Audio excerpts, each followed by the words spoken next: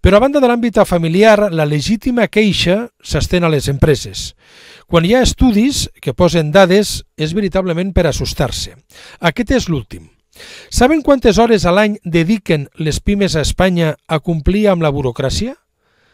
332 hores. Gairebé és una hora al dia de jornada laborable i més de 13 dies, amb 24 hores, dedicats als tràmits. La temuda burocràcia ofega les empreses i és un obstacle per la creació de noves, i no és un titular fàcil, és una realitat. Tenim a Alberto Gómez, que és coautor d'aquest últim estudi que informa d'aquestes dades de la burocràcia. Alberto, bona tarda, buenas tardes. Hola, buenas tardes, ¿qué tal? ¿Cómo estáis? Por cierto, mm, como coautor del estudio, ¿te ha sorprendido el resultado final? Es decir, que las pymes hayan de dedicar casi una hora al día en jornada laboral a cumplimentar burocracia o te la esperabas? Bueno, no es sorprendente del todo porque ya sabíamos que, que en este país la carga burocrática es bastante elevada, pero, pero no sabíamos exactamente qué número de horas íbamos a, a estimar, así que el resultado, pues bueno, es más o menos entre los, entre los parámetros que esperábamos, 332 horas de, de promedio. Eh, dais muchos datos, es muy interesante el estudio, porque también eh, distribuís las horas en, en, los sectores económicos. Por ejemplo, el sector secundario acumula 562 horas de gestiones, el primario 474 y el terciario, que sería el mejor, 254. Y también que el mayor tiempo dedicado por las empresas a la burocracia es en la administración de operaciones. Sí, efectivamente. Lo que hemos hecho es desagregar los datos por, sectores. Como comentas, el sector secundario pues es aquel que, destina más horas a lidiar con los trámites burocráticos, principalmente por, por las gestiones que se requiere a la hora de realizar pues una obra, la cantidad de licencias que se necesitan, de trámites que hay que, que, hay que proceder, etcétera. También el sector primario, pues como comentas, está en segundo lugar, con 474 horas al año casi, y esto se debe sobre todo a pues la necesidad eh, de contratar y despedir estacionalmente que tiene el sector primario, ¿no? lo que hace que se repitan muchos trámites de contratación y despido muchas veces a lo largo del año. Independientemente de la ideología, en campaña electoral todos los políticos coinciden en una cosa, en prometer agilizar gestiones y en la ventanilla única para favorecer en este caso el tiempo. Pero luego vemos que la realidad es muy diferente, ¿no? Que esto queda en campaña electoral y que luego no se hace nada. Sí, efectivamente, las propuestas de, reducir la burocracia y de facilitar pues, la gestión de estos trámites suelen ser muy, muy fáciles de realizar en campaña electoral, ¿no? Y además se apelan a todo el mundo porque prácticamente cualquier ciudadano pues las sufre en sus carnes estas estas horas de, de burocracia que tienen que, que tienen que hacer.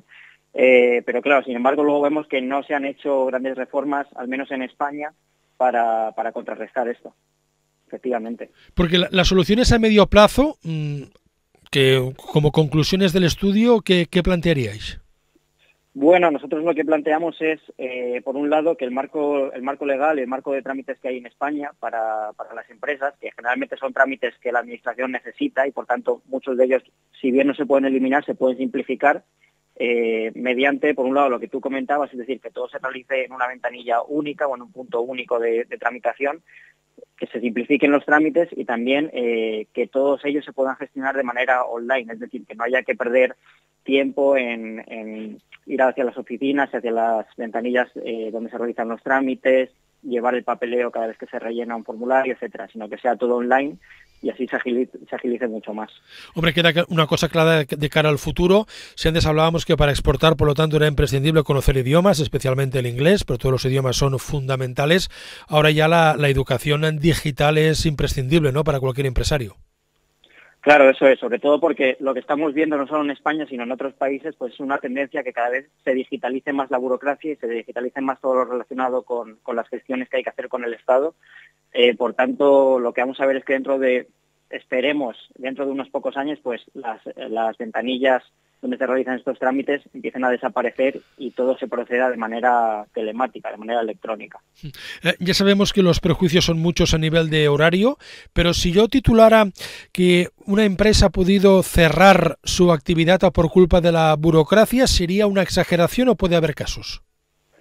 Bueno, puede haber casos, ¿no? Sobre todo porque eh, pues una pequeña empresa que necesite destinar al año 300, 400 horas a cumplir con estos trámites, eh, pues es una cantidad de tiempo que no está destinando a su actividad, ¿no? Es decir, a generar ingresos y, a, cuidar a sus clientes y todo este tipo de, cuestiones. Entonces, eh, lo que ellas dejan de hacer realmente les perjudica, ¿no?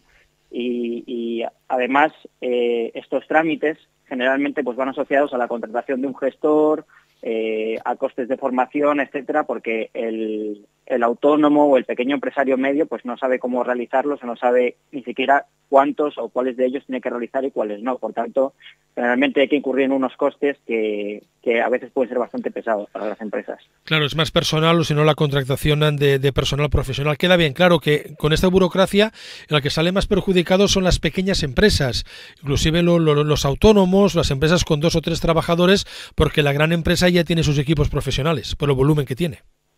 Sí, eso es, sobre todo los autónomos, ¿no? Como tú comentas, las grandes empresas pues suelen tener equipos de, asesores, de gestores, contables, abogados, etcétera. Las pequeñas empresas y sobre todo los autónomos casi siempre tienen que contratar un gestor externo, un asesor.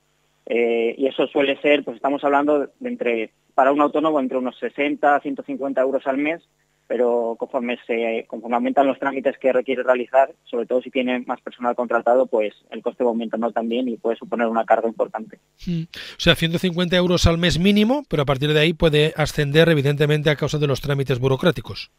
Eso es, eso es. Conforme, es decir, dependiendo de la actividad que realice, eh, porque necesitará eh, realizar más o menos trámites, ¿no? Y sobre todo dependiendo pues del número de personas que tenga contratada, del volumen de su actividad, porque eh, lo que observamos también es que muchos de estos gestores pues eh, aumentan la tarifa que cobran a sus clientes en función de, del número de facturas que les pasen, etcétera. Por mínimo 150, sí. Sí, sí. 332 hores, una hora al día de jornada laborable, més de 13 dies amb 24 hores dedicat a tràmits i a la burocracia. Por cierto, Alberto, una última cuestión para hacer la comparativa.